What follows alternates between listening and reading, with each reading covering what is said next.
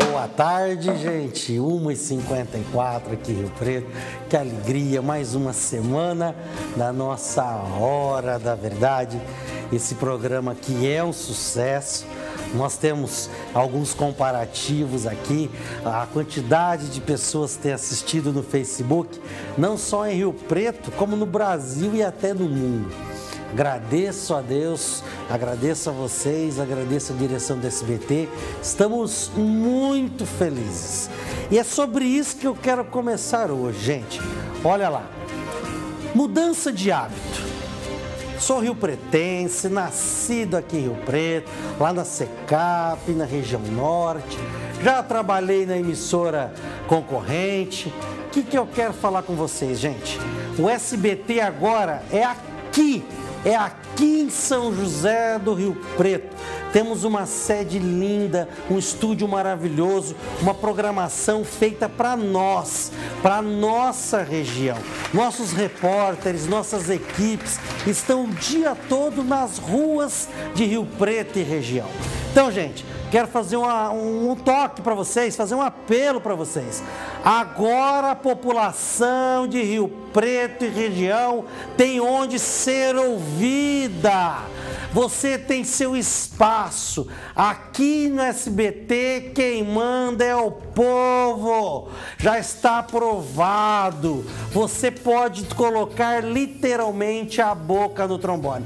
Então, a maior programação regional está aqui. Começa com o nosso jornalismo. Vem o Carlos Hernandes e antes de mim vem minha amiga Mira a revista eletrônica mais bem feita do interior do Brasil. Garanto para vocês, qualidade em jornalismo, qualidade de equipamentos. Então, gente, o SBT agora é a TV de Rio Preto. Nós temos espaço para você, população, você, povo, tá bom? A hora da verdade. Bom, e para falar em hora da verdade, espaço para o povo. Vocês lembram do nosso amigo Luciano Montoro, conselheiro tutelar?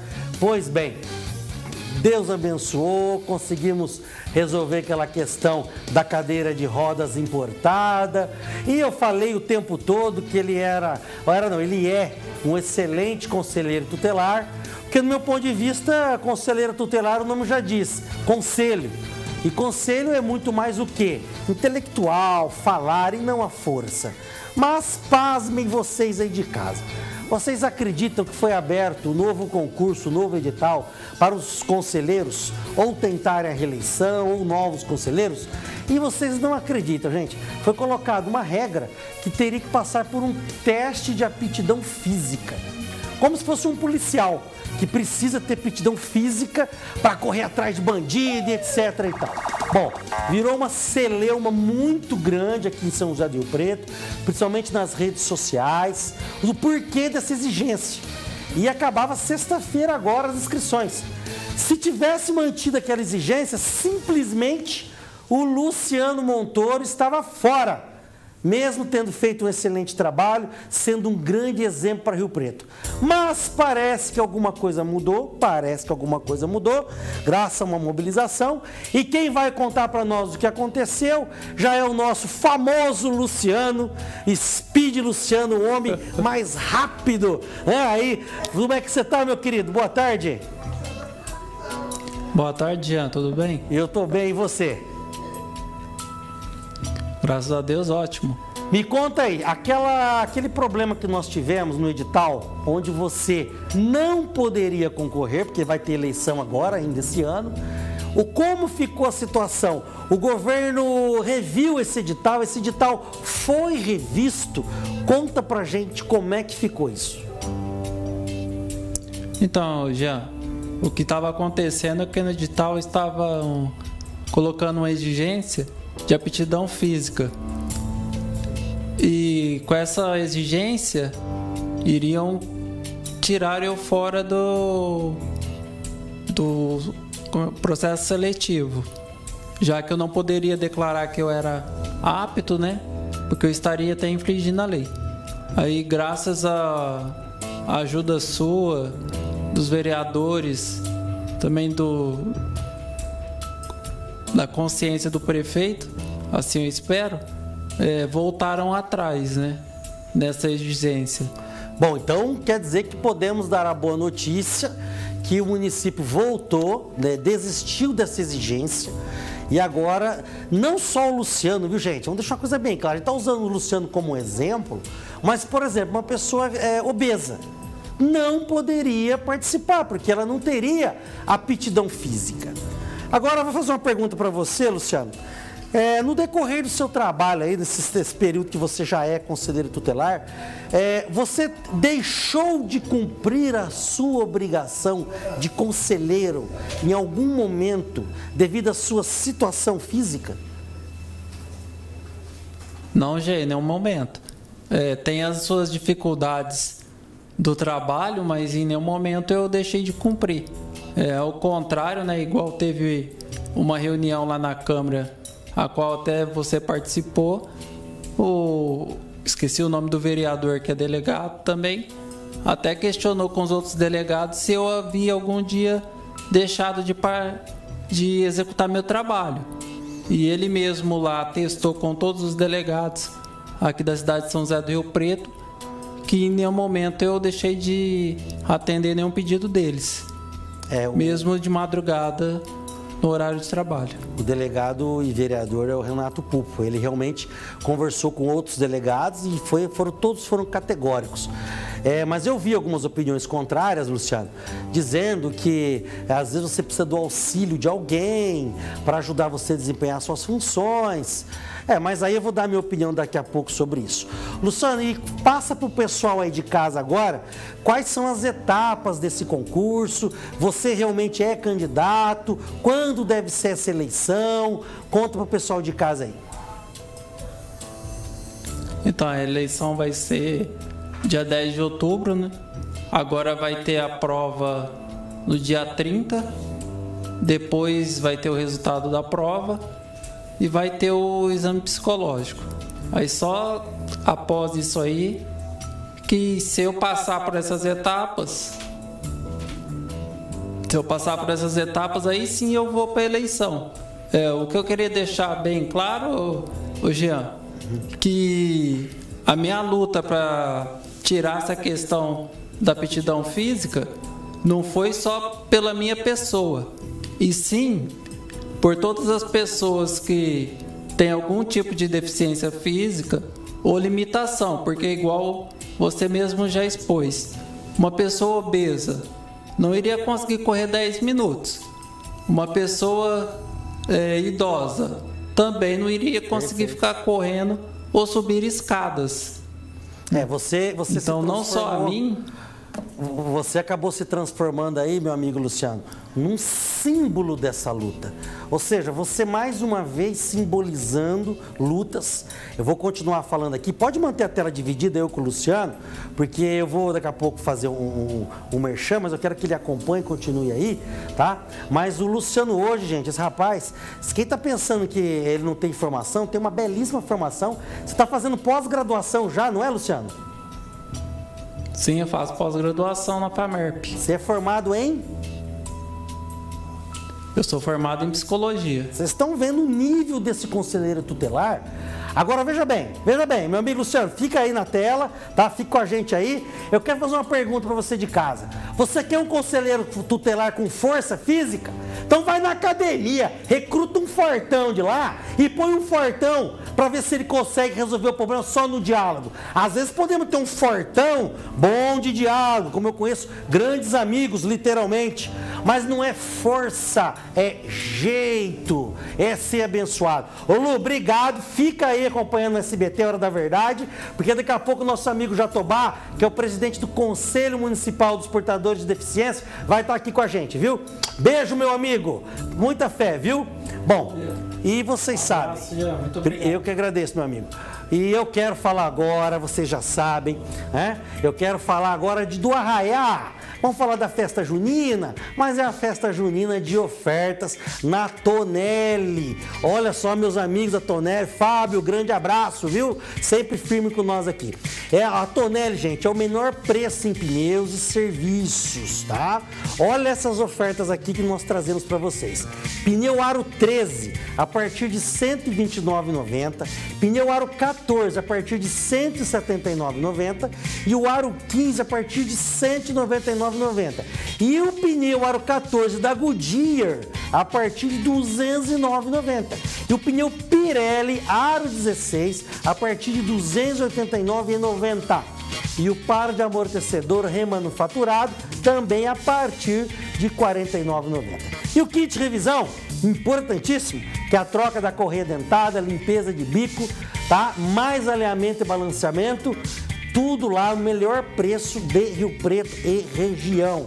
Tudo isso, gente, olha, olha o tamanho do kit, troca de óleo, filtro, a partir de R$ 359,90. Preço válido para carros nacionais 1.0, tá? Tudo em até 10 vezes no seu cartão. E aqui em Rio Preto, na Vida Nossa Senhora da Paz, número 2341. Ligue grátis no 0800 500 3000 e faça seu agendamento, tá bom? Bom, meu amigo Luciano, agora você já se tornou o candidato mais conhecido, hein, rapaz? Maior responsabilidade, hein? Olha a responsabilidade aí. Grande abraço, vamos para o nosso intervalinho. Daqui a pouco estou aqui com o nosso querido Jatobá. Vamos discutir um pouco mais esse assunto. Bom, gente, estou batendo a bola azul aqui hoje. A bola azul é pelo ato de humildade que o município teve. O prefeito Edinho Araújo ouviu o clamor da sociedade, ouviu a lei e reviu essa questão do edital. A gente imagina como um prefeito tem tantas coisas na cabeça. Então, bola azul para o nosso prefeito Edinho Araújo que reviu essa decisão do edital, tá bom? Grande abraço aí para todo mundo aí, pessoal que colaborou. E agora você já sabe, anunciar na hora da verdade é sinônimo de respeito e credibilidade junto ao consumidor. E eu vou falar da Colchões Doctors, Doctors Colchões, tá com a gente aqui desde o início, tá? E por que Doctor, gente? Sempre vem aqui ou o Vagnão, ou vem a Marcinha aqui. Mas qual o diferencial da Doctor, gente? Existe um compromisso com o cliente. Eu sou cliente Doctors. Inclusive, no final de semana, conversando com a minha esposa, nunca mais tivemos problemas de colchões. Tem aqueles colchões que parece, você parece que está num barco, sabe? Vai todo mundo pro meio, né? O duro é quando o marido e a mulher não se dá bem, vai cada um um lado, né, no colchão, né? Pelo menos os colchões ruins junto o casal, mas não precisa de colchão ruim. Tem que ter qualidade de sono. A fábrica é da Doctors, então é certeza de qualidade para não ter assistência técnica. E olha essa promoção maravilhosa, linda, olha só. É, aqui, é a cama box, gente. É o colchão Amore, 12 de 109,90. Vocês, namorados que são um pouquinho mais avançadinhos, tá certo? Naquele período de experiência, porque diz que lá na Europa, nos Estados Unidos é assim. Primeiro mora junto, depois casa. Tá aqui um presentaço pro casal. E os namorados munheca, há uma vantagem. Você compra o colchão, agrada a dona patroa e usufrui. Olha que beleza, dica importante da hora da verdade.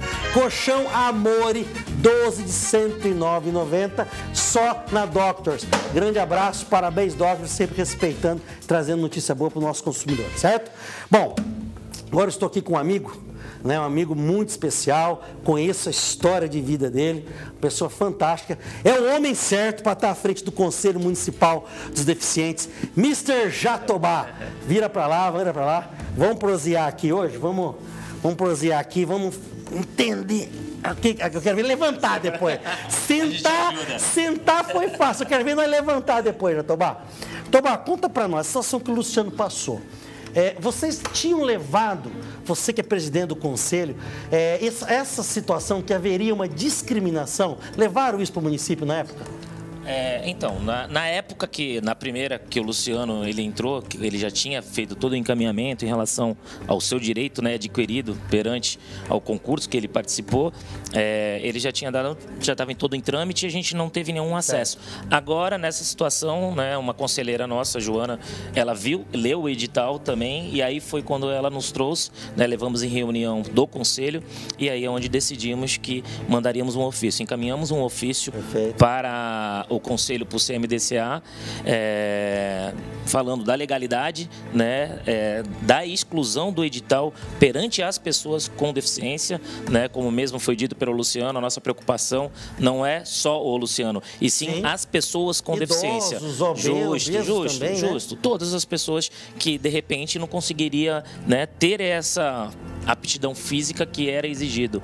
Né? E mesmo falando que era uma legalidade dentro do edital o, a parte física, né? mas isso derrubaria facilmente, porque em nenhum lugar se pode é, ser excluído através de uma teste de aptidão física, tirando a polícia, né? que claro, lógico, quem necessita. Claro, claro. O conselheiro tutelar não precisa correr atrás de criança, Sim. porque quem corre... Que vale mais é a conversa, né? Justamente, né? não tenha dúvida nenhuma. É, e fica o exemplo também, agora a luta não pode parar nesse assunto, porque tem um projeto de lei que o município encaminhou para a Câmara Municipal, que, porque desta vez, leu como advogado, a lei, o artigo 133 da lei federal, diz que os municípios podem regular os editais e dizer as exigências. Beleza. Aí tem a lei municipal, que me foge o número. E a lei municipal diz os pré-requisitos. Beleza também. Só que nos pré-requisitos, Jatobá, não constava essa questão da aptidão física. Ela foi incluída só pelo edital. Foi aí que a, se tornou ilegal. Do meu ponto de vista, era ilegal e imoral. Só que tem um projeto de lei na Câmara que quer incluir o teste de aptidão física para conselheiros tutelares. Então fica aqui e peço também para vocês da comissão para não pararem a luta, porque esse projeto vai ser votado na Câmara, viu? É, está em tramitação ainda. A gente, claro, que a gente é, espera, né, colaborar com que ó, os vereadores, né, que de repente Sim, não aprovem isso, né, sabendo já fica como aqui como um apelo no sentido de que não aprove isso para que todas as pessoas que perante a lei somos todos iguais pela Constituição todos são inerentes iguais, né? Então a gente não pode ter discriminação alguma, né? Ou a gente luta tanto pela empregabilidade em relação à pessoa com deficiência, é, né, sendo incluída dentro do emprego. Nós temos o Luciano, que é um grande de um exemplo, né? Eu acho que de repente é o primeiro conselheiro, né, no Brasil, não sei, não sei o caso. Nós deveríamos ter orgulho de ter uma pessoa com deficiência como conselheiro, né? Não tentando excluí-lo, né, dessa de, desse dessa aptidão que ele tem e que ele trabalha com tanto tanto amor, com tanto carinho. Eu acompanhei, fui no trabalho dele e vi o quanto que ele é abnegado em relação ao que ele faz. Então a gente tem que trabalhar isso com muito orgulho. E me estranhou muito até, né? Porque quando a gente fala, a gente vê hoje a cidade praticamente fazendo acessibilidade, né? Todas as calçadas acessíveis, com piso tátil, com os rampas. E aí a gente, quando a gente fala de incluir as pessoas no com deficiência, que não, não, depende de obra, de nada, né? Justamente, justamente. Aí você vê toda essa celeuma, essa discussão contrária. Justamente. Né? Mas o que é importante é que o bom senso prevaleceu. Vamos ver se eu consigo levantar fácil. Tá aqui na porra, qualquer ó, coisa. Você viu? Tá bom. Você viu? Você tá viu? O Jatobá, para quem não sabe, você foi campeão de basquete, a né? A gente ainda joga, né? A gente tá na seleção brasileira, a gente tá, tem o Campeonato Paulista, enfim. Maravilha, maravilha. Eu só tenho mais o que aqui? Eu queria encerrar junto com ele. Não tem não tem mais nenhum, nenhum merchan, não, né? Você vai encerrar comigo hoje, tá?